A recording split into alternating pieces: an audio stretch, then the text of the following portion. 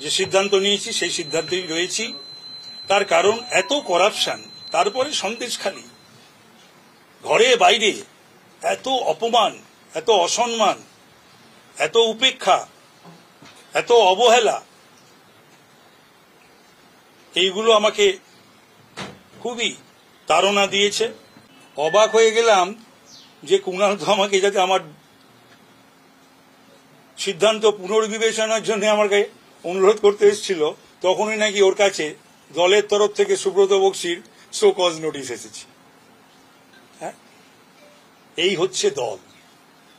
ও আমাকে বোঝাতে এসেছে, আর ওর শো কজ নোটিশ পাচ্ছে। এই দলে যাদের সাসপেনশন হওয়া উচিত শোকজ করা উচিত, এবং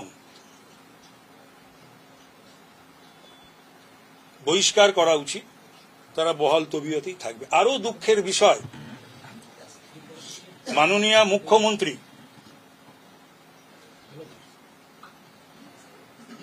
সেদিন অবশ্য বিধানসভায় আমি ছিলাম না, শারীরিক কারণে। তিনি যখন বক্তৃতা দিলেন বিধানসভায়,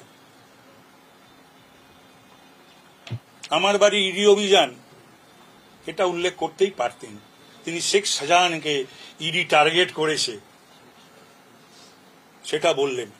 সব মিলিয়ে এগুলো আমি বড় আহত, আঘাতপ্রাপ্ত। সিদ্ধান্ত তো অত সহজে নেওয়া যায় না। সিদ্ধান্ত নেওয়ার পেছনে কিছু নির্দিষ্ট কারণ থাকে। সুতরাং আমি যে সিদ্ধান্ত নিয়েছি, সেই সিদ্ধান্তেই রয়েছি। তার কারণ এত করাপশন, তারপরে সন্দেশখালী